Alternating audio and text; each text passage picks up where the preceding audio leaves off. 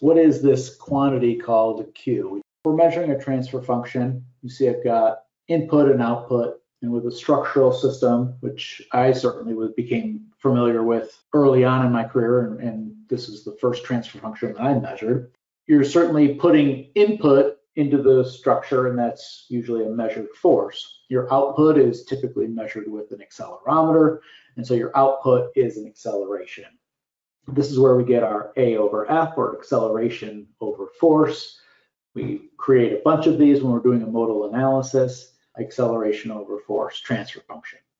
In the acoustic side of the world, we can do exactly the same thing. Instead of measuring acceleration, we're going to measure the acoustic output of our system, that would be a pressure, right? We're going to use a microphone. And for our input, we're going to use this thing called Q, or acoustic force, okay? So just like we have an A over F, we can also measure a P over Q. So what is Q? Well, if I have this sound source, and uh, in this case it's a speaker, and I want to understand the acoustic force coming out of this speaker, it's a noise source, uh, I'm going to be trying to quantify or measure Q. Well, we said Q was a volume acceleration. Well, how do I measure volume acceleration? Well, let's break this down a little bit. Think of this as really an area multiplied by an acceleration. So if we take this speaker and we break it down into some sub areas, if you will, and then I measure the acceleration, I measure an acceleration at these dots. So I could put an accelerometer in the center of that speaker cone. And if I was interested in the Q of the speaker cabinet here, I could also measure the acceleration up here. And I have a given area that I can measure that acceleration over. So I have an area and an acceleration, meters per squared times meter per second squared. That gives me meters cubed per second squared or a volume acceleration. Okay, so this is how we measure Q in practice. So if I have a surface that is generating noise and I want to understand where on that surface most of the noise is coming from or I want to break it down into its different components, I can break that surface down into these smaller areas and then measure an accelerometer or measure an acceleration with an accelerometer at the center of each of those patches. So in this picture, I'm looking at like a automotive instrument panel that's broken down into different areas. I could then put an accelerometer in the middle of each of those areas and come up with a Q, an operating Q for this vehicle under some load condition. And I would understand which areas produce the most sound or the most acoustic force.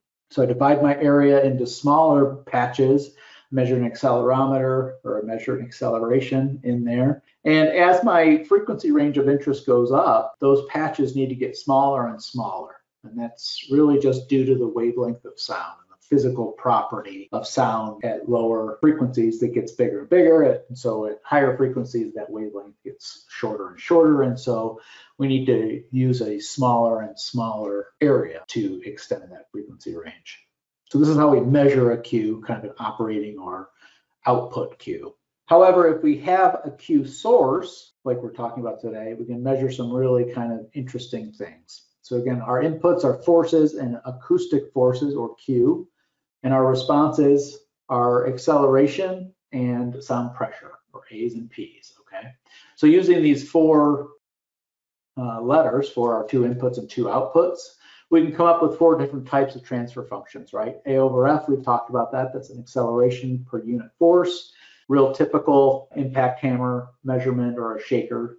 You could also have an A over Q, right? Where I'm measuring the acceleration on a structure due to an acoustic force. So if you imagine that interaction between a loud sound or a sound source actually sending those sound waves out, causing the structure to shake a little bit, we could then measure that airborne structure-borne interaction with an A over Q. Also have a P over F, which is a pressure per unit force. Uh, again, this is very common in like a transfer path analysis where I'm trying to, let's say I'm working on an automobile and I want to understand what are the different paths or, or ways that energy is getting to the driver's ear. So my P is my driver's ear location with a microphone, and then I could essentially bonk on my structure in all these different places and generate a, a P over F. Similarly, there's also this P over Q where I'm measuring an acoustic response from an acoustic force. So I just want to know the transfer function, fully airborne. A over F, structure-borne transfer function, A over Q, airborne structure-borne, P over F, airborne structure-borne, P over Q, simply just airborne. We're going to see that there's a sort of a special relationship between this P over F and the A over Q. We'll take a look at that next. So very common measurement for a transfer path analysis in an automobile we were just talking about. We have this receiver location, this driver's ear, and we want to understand from our engine, let's say our engine or our motor in the case of an electric uh, vehicle, this is our source. We want to know how much uh, engine noise gets to our driver's ear through the engine mounts. So I've got some P, that's my target or my receiver, if you will, is the driver's ear pressure microphone. And we're gonna make some impact measurements at the two engine mount locations. So in this case, I've got a simplified vehicle. I've got two engine mounts. So I could remove the engine, remove the mounts, take my impact hammer and hit the structure on the first engine mount bracket with my impact hammer. I'm measuring the F, I'm measuring the P response, and I would measure this thing called the P over F. How much pressure is produced by putting in force at this location. As I have two mount locations, I'm going to have to do a second measurement. So now I'm putting in my force here, and I'm going to measure a different function of P over F, where the F is applied at location two. Okay, so I've got two locations. I create two P over Fs, right? This will help me understand how energy gets in and flows through my structure and produces noise at the driver's ear, given that the force is acting on my structure at either one of these mount locations. Now, in reality, I don't usually just have two engine mount locations, and I usually don't just care about one direction. I've only talked about the vertical direction here. In reality, it's more likely that I'm going to be measuring three transfer functions at each mount location because I've got a vertical, a lateral, and a fore aft X, Y, and Z component to that force acting on my structure. So even in this simplified case, I've got two locations, but three directions each. So now I'm measuring six FRFs or P over Fs in order to quantify uh, the structure-borne airborne interaction. So now I've, I'm taking my impact hammer and I'm hitting each location at least three times. Plus, I'm taking a bunch of averages at each of those locations in each of those directions. And so you can see how the measurement time grows very, very quickly. And so we'd be interested in a more efficient way to do this. Okay, this is what uh, is called a direct measurement. Putting in a force, I'm measuring a pressure, I'm getting a P over F in the direct way. Okay, we can also measure transfer functions reciprocally okay, which means instead of putting my force or my energy into the system here and measuring the output at the driver's ear, I would do this the opposite way as I would put my force in here at the driver's ear and my, measure my response at my mount locations. Now you see my forces have an X, Y, and Z component. With an impact hammer, I can only hit in one direction at a time. However, I'm going to do this reciprocally, do we have a transducer that can measure the response in all three directions on that structure at once?